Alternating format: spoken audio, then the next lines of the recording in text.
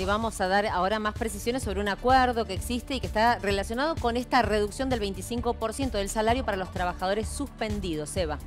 Bien, se ha firmado en la noche de ayer y también en las últimas 48 horas los últimos bocetos de lo que es el acuerdo entre la CGT y, las, eh, y los empresarios, tanto de la UIA como también por parte de las cámaras de comercio. Lo cierto es que en qué consiste? Consiste en que aquellas personas que eh, sean suspendidas a raíz de las crisis empresariales por el COVID van a recibir el 75% de su sueldo bruto.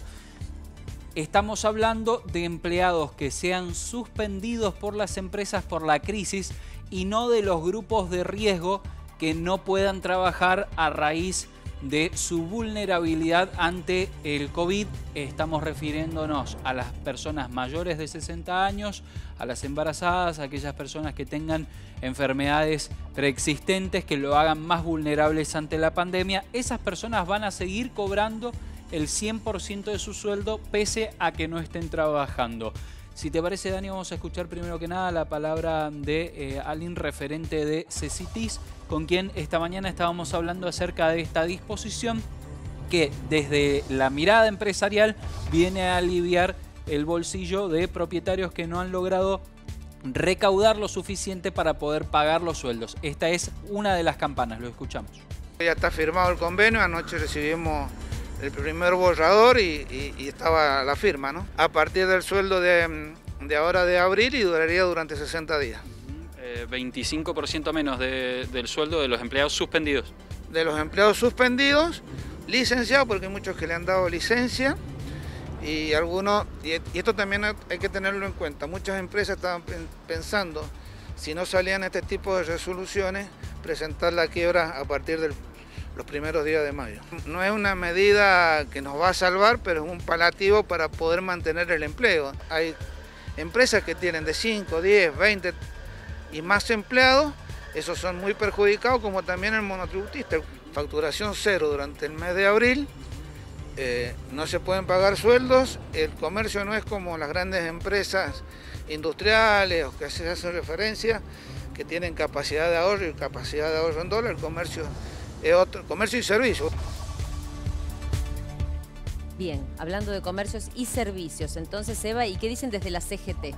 Bien, comercios y servicios y también más de 80 rubros que están agrupados en la CGT. Tuvimos la posibilidad de hablar con este sector preciso, pero también hablamos con la otra campana, los representantes de los empleados, los sindicatos. estamos hablando precisamente del secretario general de la CGT aquí en Mendoza, quien daba detalles de este acuerdo que en principio lo que ellos eh, aducen es que se trata de un acuerdo para evitar despidos y que tiene que ver con contemplar la situación de los empresarios, evitar los despidos y que el plazo sería por 60 días para la CGT en general, aunque algunos gremios han acordado algunas cosas puntuales, como por ejemplo la UOM, que será por 120 días y en vez de que se pague el 75%, lo que la UOM ha conseguido es que paguen el 86% del sueldo neto,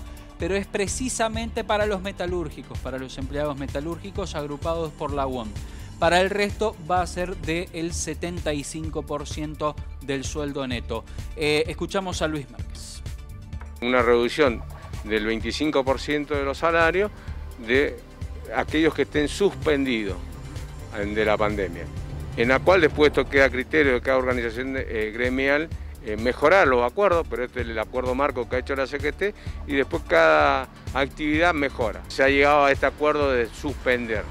Los que están en pandemia están suspendidos a partir de abril esta, esta medida, por cuatro meses hasta julio.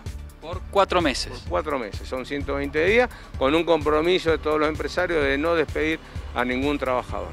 A los exceptuados, como venía diciendo el, el DNU, de 60 años siguen en cuarentena y se le paga el 100% a todos igual. Lo mismo sucederá, supongo, con, eh, lo mismo sucederá, supongo, con eh, embarazadas eh, y personas de riesgo con enfermedades preexistentes. Eso sigue exactamente lo mismo. Nosotros hemos firmado y hemos mejorado el acuerdo de la CGT de se le va a abonar el 86% del salario bruto del trabajador por también de 120 días.